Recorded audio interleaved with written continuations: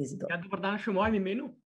Uh, prav ta preplet, ki ga je Tamara omenila, torej preplet oziroma vez med znanjem in voljo, torej med strokovnostjo in angažiranostjo, je v bistvu preplet, ki ga kot družba za reševanje sodobnih kompleksnih problemov nujno potrebujemo. Predlogi in rešitve morajo biti strokovne in utemeljene, ter vključevati dognanja naravoslovne in družboslovne stroke. Sicer nas ne bodo pripeljale daleč. Po drugi strani pa strokovnost in znanost brez družbene aplikacije nimata polne veljave.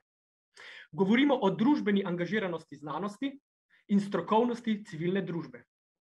Dveh konceptih, okoli katerih smo se neposredno ali posredno gibali skozi celotno pripravo konference, ter ki se, upam, odsevata v programu lete. Da visoko leteči termini zaživijo in prispevajo k reševanju sodobnih problemov, pa so potrebni ljudje.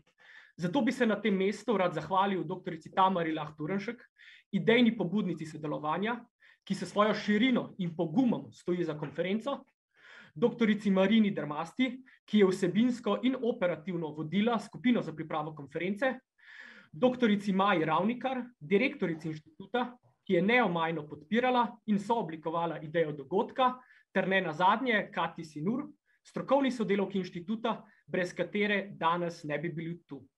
Ob tem gre zahvala seveda še celotnemu znanstvenemu in organizacijskemu odboru konference. V imenu organizatoric in organizatorjev vam želim vsebinsko polno konferenco.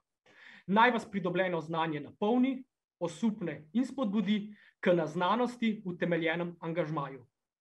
Ta angažma naj poteka na delovnem mestu, v šoli oziroma na univerzi in v trgovini ter se zauzema za dostojno družbo znotraj naravnih omejitev planeta.